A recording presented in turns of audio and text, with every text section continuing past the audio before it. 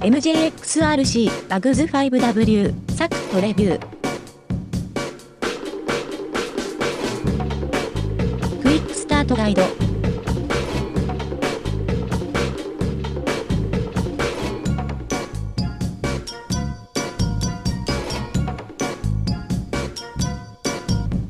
英語マニュアル。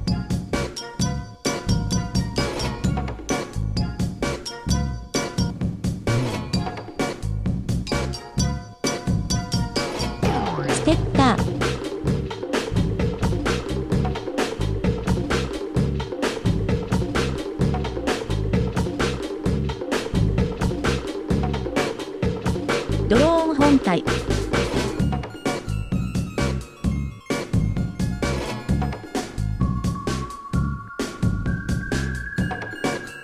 7.4ボルト1800ミリアンペアリポバッテリー。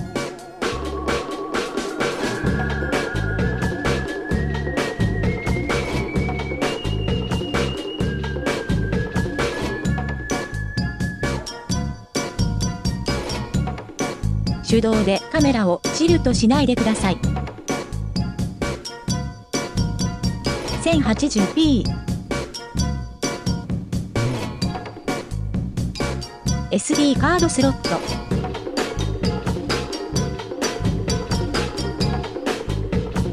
ブラシレスモーター。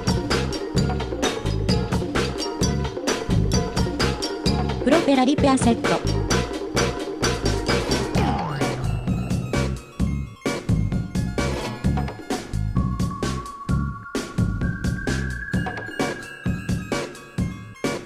マホホルダー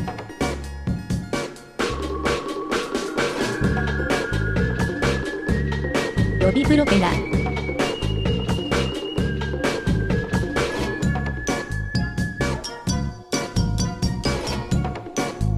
ディセル線路充電器。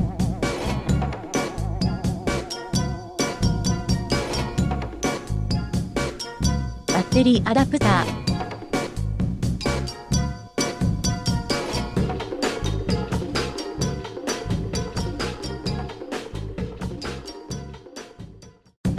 専用コントローラー。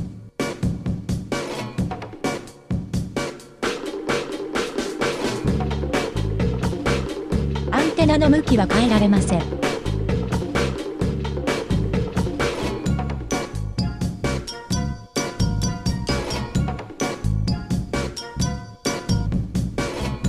リターントゥホームボタン。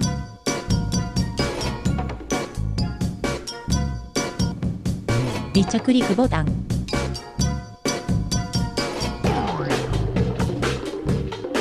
背面のボタンは使用しません。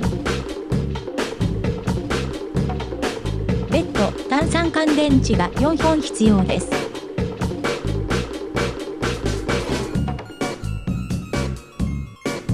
トリムボタンも使用しません。GPS で一応固定しますからね。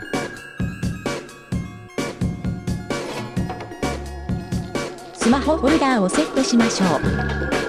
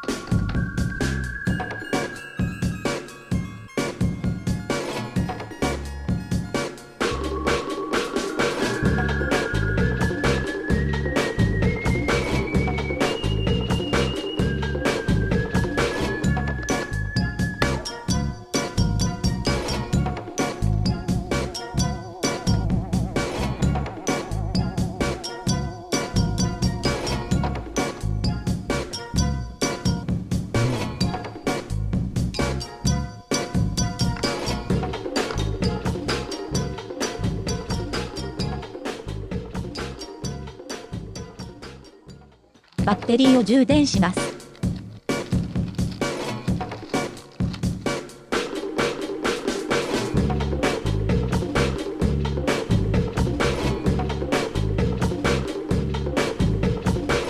USB で充電するタイプです。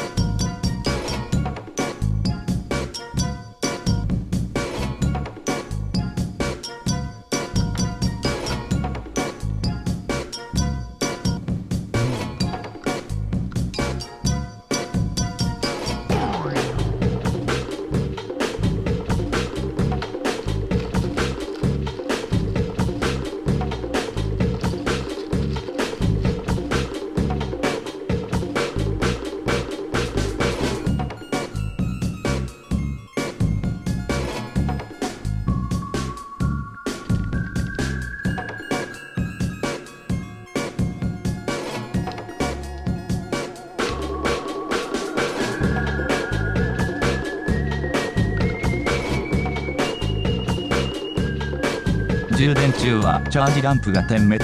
充電が終わると点灯に変わります。充電中にアプリをインストールしておきます。QR コードを読み取って App Store へジャンプします。バグズ号を入手します。日本国内ではチャンネル149は使用できませんので注意してください。デフォルトはチャンネル36となっていますので変更しないが吉です。炎天下の屋外でフライトテストです。マップデータを落としきれていないですが。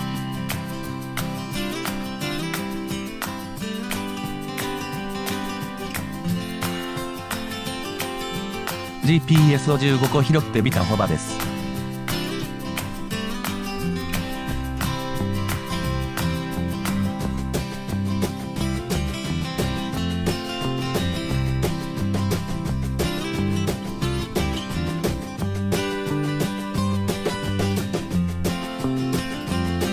これくらいの距離なら Wi-Fi-FPV も感度良好ですね。カメラの遠隔チルトが可能なので構図も合わせやすいです。カメラにはダンパーがついていますがそれでもジェロルは出ています。レバーを下げて着陸させてみました。ボタンによる離着陸も可能です。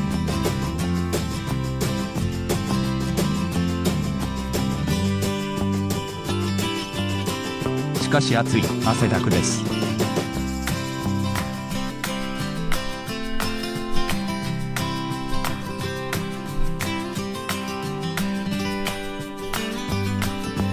それでは SD カードに保存された映像をご覧ください。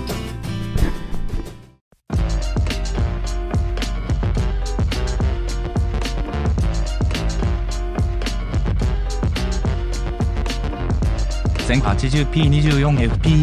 使用メディアは32ギガクラス10です。こんにゃく減少は少し残念ですが安定したホバリングとカメラチルトでかなり思い通りの映像が得られます。ISO を感動変更したりといったホビー空撮機で備わっている機能はありませんが動画編集ソフトを駆使すればより綺麗な映像も作れるかもしれません。MJXRC Bugs5W にはこの他スマホアプリに備わった機能としてオートフォローミーやウェイポイント飛行サークルフライトなどがあります。スマートリターンズホームと呼ばれる自動機関機能はボタンによる発動リモート切れなどのフェイルセーフによる発動停電圧による発動があります。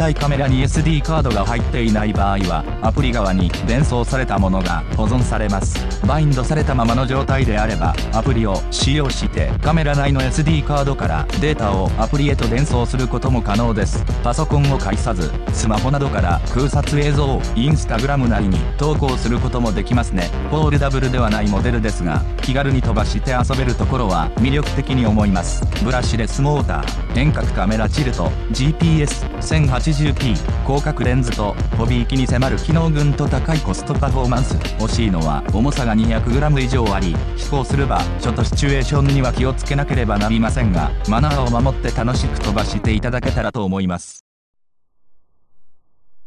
ご視聴ありがとうございました。